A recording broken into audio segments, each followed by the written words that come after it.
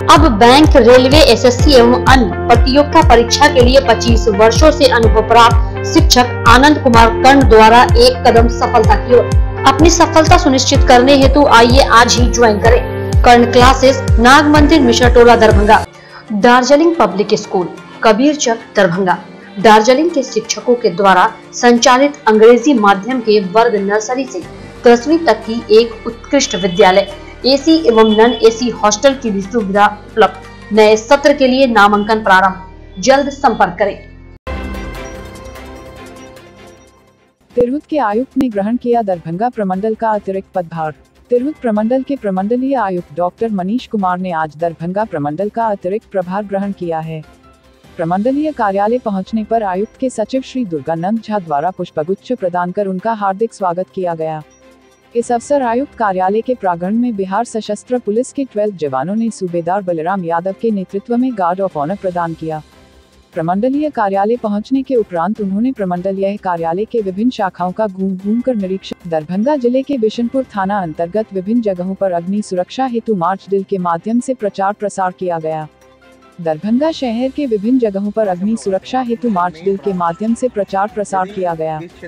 Fire team के द्वारा अग्नि सुरक्षा एवं जागरूकता हेतु मार्क डील कराया गया जिसमें आग से सुरक्षा जैसे गैस की आग से झोपड़ी में आग खेत खलियान में आग से बचाव हेतु जानकारी दी गई एवं हैंडवील लिफ्ट लेट एवं पैम्फलेट इत्यादि का वितरण किया गया तथा प्रदर्शनी के माध्यम से आग को बुझाने के लिए आमजनों को बताया गया। एईएस को लेकर जिलाधिकारी ने की बैठक। जिलाधिकारी डॉक्टर त्यागराजन एस एम, की अध्यक्षता में उनके कार्यालय प्रकोष्ठ में बच्चों की बहुचर्चित बीमारी एईएस से बचाव के लिए स्वास्थ्य विभाग द्वारा जारी सुझाव का व्यापक प्रचार प्रसार करवाने को लेकर बैठक की गई। बैठक में civil surgeon doctor Sanjeev Kumar Sinha ने बताया कि मुजफ्फरपुर जिला एवं उसके आसपास के जिलों में अप्रैल से बरसात प्रारंभ होने तक एईएस का प्रकोप रहता है। इस बीमारी के चपेट में ज़ीरो से सिक्स माइनस सेवन साल के बच्चे आते हैं। दरभंगा जिला में अभी तक एईएस का केस नहीं मिला है। वर्ष 2018 में एक विश्वविद्यालय संस्कृत विभाग के तत्वावधान में आयोजित द्विदिवसीय अंतर्राष्ट्रीय संगोष्ठी संपन्न। संवेदना हमारे आंतरिक चेतना, जिसका परिचय देने वाला ही सच्चा मानव प्रो विद्याधर सभी वैज्ञानिक तथ्यों का उल्लेख एवं समस्याओं का निदान संस्कृत साहित्य में विद्यमान प्रो विद्यानाथ सेमिनार में नेपाल, श्रीलंका, मंगोलिया, थाईलैंड, सोमनाथ जे व दिल्ली विश्वविद्यालय आदि से जुड़े संस्कृत प्रेमी। संवेदनशीलता नर को नारायण बनाने में सक्षम डावीर सनातन। चेतनशील लोग ही संवेदनशील भी होते हैं। संवेदना हमारी आंतरिक चेतना है, जिसका परिचय देने वाला ही सच्चा मानव हो सकता है। अतः हमें सदा संवेदनशीलता का परिचय देना चाहिए। मिथिला ज्ञान विज्ञान तथा संवेदनशीलता की भूमि रही है, जहाँ हम जड़ मिट्टी पानी से बने देवी देवताओं को चेतनशील। मोहम्मदपुर घटना का मुख्य आरोपी परवीन झा अपने कई साथियों के साथ गिरफ़्तार हो गया। परवीन की गिरफ्तारी कल ही नेपाल में हुई। परवीन झा के साथ भोला सिंह, चंदन झा, कमलेश सिंह, मुकेश साफी भी गिरफ़्तार हुआ। वहीं परवीन झा का भाई नवीन झा अभी तक पुलिस की गिरफ्त से बाहर है। वहीं मधुबनी एसपी डॉक्टर सत्य प्रकाश ने गिरफ्तारी को लेकर पुष्टि कर दी है। साथ ही बिहार पुलिस मुख्यालय और एडीजी मुख्यालय ने भी गिरफ्तारी की पुष्टि की है। इस हत्याकांड के 35 नामजद अभियुक्तों में से 11 को गिरफ़्तार किया जा चुका है। इस हत्याकांड की वजह से बिहार की राजनीति में भूचाल आ गया है। मंगलवार को परिवार से मिलने पहुँचे नेता प्रतिपक्ष तेजस्वी यादव ने इसी नरसंहार करार दिया है। उन्होंने पुलिस और प्रशासन के साथ बीजेपी के स्थानीय विधायक पर भी अभियुक्तों को संरक्षण देने का आरोप लगाया। बता दें कि मधुबनी के बेनीपट्टी थाना क्षेत्र में होली के दिन यानी 29 मार्च को अंधाधुन गोलीबारी कर एक ही परिवार के पाँच लोगों की हत्या कर दी गई थी। इस मामले में घायल एक व्यक्ति का अभी भी इलाज चल रहा है। वहीं विपक्ष इस मामले को लेकर लगातार मुख्यमंत्री नीतीश कुमार पर निशाना साध रहे हैं। गौरतलब है कि मधुबनी के इस घटना के बाद पूरे बिहार की राजनीति गर्मा गई थी, पर विपक्ष लगातार सरकार पर हमलावर थे। हालाँकि मुख्यमंत्री नीतीश कुमार ने अपराधियों की गिरफ्तारी के सख्त आदेश दिए थे। अब तेजस्वी यादव यह कहते हैं कि उनके मधुबनी दौरे के बाद ही प्रशासन हरकत में आई और अपराधियों की गिरफ्तारी हुई। वहीं पुलिस और सरकार का कहना है कि लगातार छापेमारी चल रही थी और अंत में पुलिस ने उन्हें गिरफ़्तार किया। सूत्रों की माने तो खुद कोर्ट में सभी अपराधियों ने आज सरेंडर किया था। अभी तक मधुबनी एसपी अपराधियों को लेकर किसी अज्ञात स्थान पर पूछताछ कर रहे हैं वहीं किसी ने कहा कि उसे दरभंगा आईजी के समक्ष पेश किया गया है और सभी अपराधी दरभंगा में हैं। लेकिन सूत्रों की माने तो देर शाम मधुबनी एसपी डॉक्टर सत्य प्रकाश आज प्रेस को संबोधित करेंगे और पूरे कांड और गिरफ्तारी पर खुलासा करेंगे बिहार सरकार के द्वारा कोरोना के बढ़ते आंकड़े को देखते हुए गाइडलाइन जारी कर लोगों को बार बार मास्क लगाने और सोशल डिस्टेंस का पालन करने की बात कही जा रही थी तो वहीं दरभंगा जिला के इनकम टैक्स रोड से रेडियो स्टेशन जाने वाली सड़क स्थित Bank of India Lalbagh branch में एक कैशियर स्टाफ के कोरोना पॉजिटिव रिपोर्ट आने के बाद हड़कंप मच गया है। वहीं बैंक में कार्यरत सभी लोगों में अब इस बात का डर बना हुआ है कि क्या और भी कर्मचारी कोरोना पॉजिटिव तो नहीं। जिसे लेकर ब्रांच मैनेजर सौरभ यादव ने बताया कि कैशियर कर्मचारी के टेस्ट रिपोर्ट पॉजिटिव आने के बाद बैंक में कार्यरत सभी लोगों का जाँच करवाने के बाद ही बैंक का कार्य सुचारू रूप से चलेगा। वहीं जोनल ऑफिसर मुजफ्फरपुर से मिले दिशा निर्देश के बाद ऑफ़िस को पूरे तरीके से सैनिटाइज भी करवाया जा रहा है। वहीं आगे सभी कर्मचारियों की रिपोर्ट निगेटिव आने के बाद ही कल से बैंक का कार्य चलने की बात बैंक मैनेजर सौरभ यादव ने कही। भाजपा उन्मादी राजनीति का परिणाम है मिथिलांचल का मधुबनी जनसंहार। जिला स्तरीय कार्यकर्ता कन्वेंशन के बाद आयोजित प्रखंडों के सचिवों और जिला अस्थायी समिति की बैठक को संबोधित करते हुए भाजपा माले पोलित ब्यूरो सदस्य धीरेन्द्र झा ने कहा कि मधुबनी जनसंहार ने मिथिलांचल को शर्मसार किया है। यह भाजपाई उन्मादी राजनीति का परिणाम है। इस जघन जनसंहार में शामिल अपराधियों को भाजपा नेताओं ने पालपोस कर बड़ा किया है। माले नेता ने कहा कि महज मछली विवाद से इस बड़े जनसंहार को जोड़ना मामले को छोटा करना है, क्योंकि यह संगठित जनसंहार है और इसे अधिकारी राजनीतिक वर्चस्व कायम करने के उद्देश्य से किया गया है। सरकार मामले को दबाने में लगी है, इसलिए डीएम और एसपी अभी तक घटना स्थल पर नहीं पहुँचे हैं। जाँच के आज शासन दलों के नेताओं तक नहीं पहुँचे, इसलिए इसे मछली विवाद का नाम दिया जा रहा है। वहीं इन लोगों ने कहा कि अगर मधुबनी कांड में जल्द से जल्द कार्रवाई नहीं होती है तो भाकपा माले दरभंगा से मधुबनी तक विशाल मार्च का आयोजन करेगी और सरकार की सारी पोले खोल देगी। खुलेआम जो संरक्षण दिया जा रहा है, उसी का परिणाम मधुबनी जनसंहार है। मिथिलांचल में ये अपने किस्म का पहला जनसंहार है और इसमें वही लोग हैं जिन लोगों को भाजपा के नेताओं का संरक्षण प्राप्त है। और मैं इस बात को नहीं मानता हूँ कि महज मछली विवाद में इतना बड़ा जनसंहार हो गया है, बल्कि उस इलाके में भारतीय जनता पार्टी के नेताओं के ज़रिए जो अपराधियों को संरक्षण दिया जाता रहा और अपराधियों को लूट की छूट दी जाती रही दंगा फसाद करने की छूट दी जाती रही लोगों को तबाह करने, प्रताड़ित करने की छूट दी जाती रही। इन तमाम कारकों से उसका मनोबल इतना बढ़ गया कि ऐसा जघन्य जनसंहार को उसने सामने लाया। किन किन लोगों का संरक्षण इन लोगों को मिल रहा है? ऐसे तमाम लोगों की तत्काल गिरफ्तारी हो और उन्हें गिरफ़्तार करके, उनके मोबाइल को सीज करके कॉल रिकॉर्ड इकट्ठा किया जाए और जनता के बीच में इस बात को सार्वजनिक किया जाए कि किन नेताओं का संरक्षण उसको मिला हुआ है और किन नेताओं ने अभी तक उनको बचाने का काम किया है। इसलिए मेरा सीधा कहना है कि मैंने अपराधियों को तत्काल प्रशासन गिरफ़्तार करे। अंतर्राष्ट्रीय शराब तस्कर गिरोह के दो सदस्य समस्तीपुर के सिंघिया से गिरफ़्तार। दरभंगा में सक्रिय अंतर्राष्ट्रीय शराब तस्कर गिरोह के दो सदस्य को गिरफ़्तार करने में पुलिस को सफलता मिली। बीते 23 मार्च को दरभंगा मुजफ्फरपुर फोर लेन से शराब लदे ट्रक की जब्ती के बाद तस्करों की गिरफ्तारी में जुटी पुलिस की टीम ने दो धंधेबाजों को समस्तीपुर के सिंघिया से दबोच लिया है। पुलिस के हत्या चढ़ा अविनाश सिंह उर्फ़ छोटू समस्तीपुर के सिंघिया थाने के सुम्मा डी निवासी अशोक सिंह का पुत्र है। वहीं शमशेर कुंजरा पिपरा घाट निवासी मोहम्मद आलम कोहरा का पुत्र है। दोनों के खिलाफ शराब के अवैध धंधे को लेकर सिंघिया थाने में अलग अलग तीन मामले दर्ज है। वहीं आपको बता दें कि मामले की जाँच में जुटे थाना अध्यक्ष ने बताया कि गिरफ़्तार दोनों तस्कर लंबे समय से शराब का धंधा करते आ रहे हैं।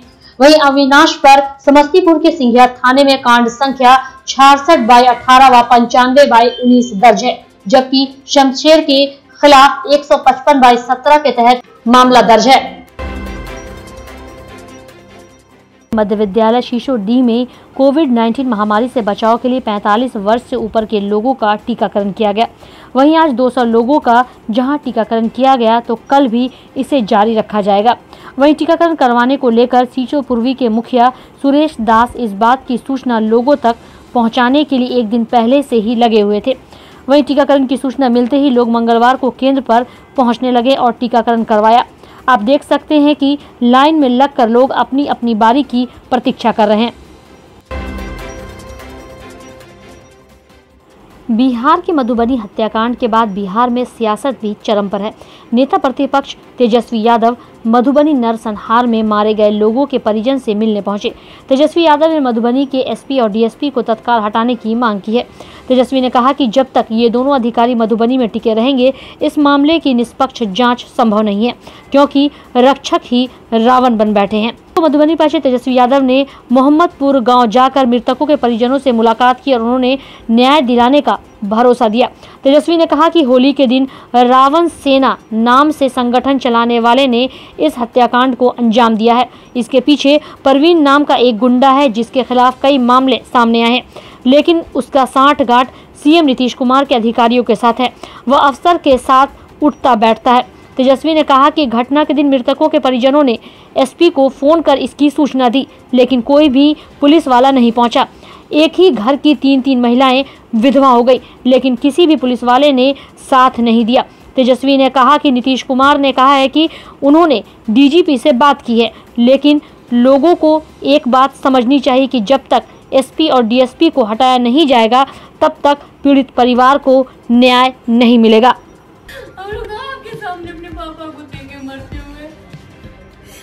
सब कुछ होता है इंसान के लिए, ही? नहीं रहा सब मार दिए ऐसे मारे, इतना तकलीफ़ से मारे थे मेरे पापा को। बॉर्डर पे मारते तो ये हो रहा था कि मेरे पापा बॉर्डर पे आज तक बॉर्डर पे कोई एक भी खरोच भी नहीं आया मेरे पापा को, लेकिन यहाँ पे मार दिए सब। रावण जो है बुराई का प्रतीक। है रावण बुराई का प्रतीक है दशहरा में उसका वध होता है। और प्रशासन के लोगों को पता ही नहीं कि रावण जैसे सेना यहाँ है। और रावण सेना का काम क्या है? मेरे पास काम दे तो पूरा तरीके से बिहार में सुशासन राज नहीं राक्षस राज आ गया है। अगर रावण सेना चल रही है संहार कर रहे हैं लोगों का तो राक्षस राज है मांग है सरकार से कि सरकारी नौकरी दे सुरक्षा दे लाइसेंस दे आर्म्स का। और अविलंब जो लोग हैं उनको गिरफ़्तार करके फांसी की सजा सुनाई जाए हाई कोर्ट द्वारा मॉनिटर जाँच होनी चाहिए। हाल के दिनों में कोरोना के बढ़ते संक्रमण के रोकथाम को लेकर मुख्यमंत्री बिहार नीतीश कुमार, स्वास्थ्य विभाग बिहार के मंत्री, प्रधान सचिव, अपर मुख्य सचिव, गृह विभाग सभी प्रमंडलीय आयुक्त, पुलिस महानिरीक्षक, जिलाधिकारी, वरीय पुलिस अधीक्षक पुलिस अधीक्षक, स्वास्थ्य विभाग के स्थानीय पदाधिकारियों के साथ ऑनलाइन समीक्षा बैठक की गई। प्रधान सचिव स्वास्थ्य विभाग प्रत्यय अमृत ने पावर प्वाइंट प्रेजेंटेशन के माध्यम से वैसे आठ ज़िले, जिनमें कोरोना के एक्टिव मामले ज़्यादा हैं, के संबंध में विस्तृत जानकारी दी। वैसे ज़िले में पटना, जहानाबाद, गया, भागलपुर, मुजफ्फरपुर, समस्तीपुर, सीवान एवं सारण शामिल हैं। इन आठों ज़िले में सर्वाधिक अठारह सौ इक्यासी एक्टिव केस पटना में है, जबकि सबसे कम तिरासी एक्टिव केस सारण में है। इन ज़िले की समीक्षा के दौरान यह बात सामने आई कि 15 मार्च के बाद पॉजिटिव केस की संख्या में वृद्धि हुई है। और बाकी जो तीन चीज़ों के लिए लोगों को करना है तो और लोगों के बीच में बताना ही है। पूरे तौर पर अब इसके लिए प्रचार प्रसार भी करने की बात है कि भाई आप मास्क ज़रूर पहनिए। एक दूसरे से दूरी कायम रखिए। बहुत ज़्यादा सार्वजनिक जगहों पर इकट्ठा होकर के भीड़ इकट्ठा करना, मास्क बिना पहनाए हुए, एक दूसरे के अगल बगल में खड़ा हो जाना, ये ठीक नहीं। वैसे तो कुछ कार्यक्रम लोगों करना ही है। किसी का श्राद्ध है, किसी की यहाँ शादी है तो उसके लिए भी संख्या निर्धारित कर दी गई है कि भाई इससे ज़्यादा मत करिए। लेकिन मास्क पहनना, दूरी कायम करना, हाथ को साफ़ करते रहना, ये बात तो लोगों को जो सुझाव दिया जाता है ये तो करना ही है। और सब लोगों को प्रेरित करना है कि भाई आप अपना टीकाकरण भी कराइए और दूसरी चीज़ें की टेस्ट भी करवाइए ये दोनों काम हम लोगों को करना है। और हम लोगों को पूरा भरोसा है कि टीकाकरण हम लोगों का मैक्सिमम हो जाएगा तो स्वाभाविक तौर पर नया जो बीमारी फिर से आ रही है, उसका असर कम से कम होगा। इस पर तो हम लोगों को है, पूरा भरोसा है। ठीक है, संख्या के बारे में पहले जितना था, हो सकता है कि उससे कुछ संख्या बढ़ी हो, लेकिन वो एक अलग बात है। लेकिन मैक्सिमम लोग तो हो जाएँगे, उनके अंदर में इतना डेवलप कर जाएगा, वो रेजिस्टेंट हो जाएँगे और ये उस पर असर नहीं करेगा। इसलिए इन सब तीनों चारों चीज़ों पर ध्यान रखना हमको की चर्चा की गई क्या उपाय किए जा रहे हैं और आगे में और क्या क्या करने चाहिए, इस पर निर्देश दिए गए। कुछ मुख्य जिलों की समीक्षा की गई, हम लोग भी स्वयं भी अपनी समीक्षा कर रहे हैं। कोरोना को लेकर मास्क लगाने पर, की ड्राइव चला रहे चला रहे चला रहे हम लोग। सोशल डिस्टेंसिंग लोग मेंटेन करें, एक जगह भीड़ ना लगाएँ। जहाँ जहाँ पाए गए वहाँ कंटेनमेंट जोन बनाएँ। इसके अलावा ट्रांसपोर्ट के लिए जो रूल रूल्स दिए गए हैं कि एक एक गाड़ी में इतने लोग नहीं बैठेंगे या विवाह में इतने इतने ज़्यादा लोग नहीं होंगे, इस समय वो सब हम लोग को इन्फोर्स कराना है और आगे की तैयारी हम लोग कैसे कैसे करेंगे, इस समय में चर्चा करेंगे पूरे मिथिला चेता क्षेत्र में इन्हीं बंदों पर चल रही है, मास्क लगाने को लेकर एक जगह भीड़ न लगाएँ और ट्रांसपोर्ट में ज़्यादा भीड़ में, जो गाड़ियों में, जो गाड़ियाँ चल उसमें ज़्यादा लोग एक साथ ना बैठें। जहाँ जहाँ जो लोग पाए गए हैं कोरोना से संक्रमित, वहाँ पर छोटा माइक्रो कंटेनमेंट जोन बना, बनाया जा रहा है सो दैट वहाँ से वो इन्फेक्शन बाहर ना फैले। मुख्य सचिव बिहार एवं पुलिस महानिदेशक बिहार द्वारा निर्गत संयुक्त आदेशानुसार एवं जिला पदाधिकारी दरभंगा द्वारा निर्गत आदेश के आलोक में अनुमंडल पदाधिकारी सदर राकेश कुमार गुप्ता एवं पुलिस उपाधीक्षक सदर अनुज कुमार के द्वारा संयुक्त रूप से अनुमंडल पदाधिकारी सदर के कार्यालय प्रकोष्ठ में सभी रेस्टोरेंट, होटल, बैंकवेट हॉल के प्रोपराइटर प्रबंधक के साथ कोविड 19 के संक्रमण मामले में अप्रत्याशित वृद्धि को देखते हुए नियंत्रण हेतु बैठक आयोजित की गई। वहीं अनुमंडल पदाधिकारी सदर द्वारा कहा गया कि जिला पदाधिकारी दरभंगा डॉक्टर त्यागराजन एसएम द्वारा निर्गत आदेश को शॉपिंग मॉल, होटल एवं रेस्टोरेंट आदि के संचालन के संबंध में निर्गत आदतन मानक संचालन प्रक्रिया का अक्षरशा एवं कड़ाई से अनुपालन कराना सुनिश्चित करें। अखिल भारतीय विद्यार्थी परिषद दरभंगा नगर इकाई द्वारा छत्तीसगढ़ के बीजापुर में माओवादियों के साथ मुठभेड़ में वीर गति को प्राप्त हुए शहीद वीर जवान के सम्मान में ललित नारायण मिथिला विश्वविद्यालय चौरंगी पर श्रद्धांजलि सभा का आयोजन किया गया। वहीं श्रद्धांजलि सभा में प्रदेश कार्यकारिणी सदस्य मणिकांत ठाकुर ने कहा कि सैनिक के बदौलत हमारी भौगोलिक और अखंडता कायम रहती है। यदि नक्सलवादी तत्वों के द्वारा उन पर हमला किया जाता है तो विद्यार्थी परिषद उन विकृत और अराजकतावादी मानसिकता की पुरजोर निंदा करती है। साथ ही केंद्र सरकार से यह मांग करती है कि इस प्रकार के तत्वों के खिलाफ कठोर कार्रवाई की जाए।